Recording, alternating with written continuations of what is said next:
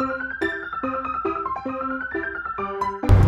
here's the train that will eventually go from Modi'in to Jerusalem. Right now it's going to Tel Aviv. Tel Aviv.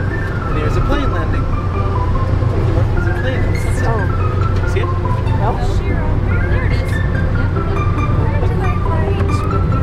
Modern country. There's a plane. Can't see it.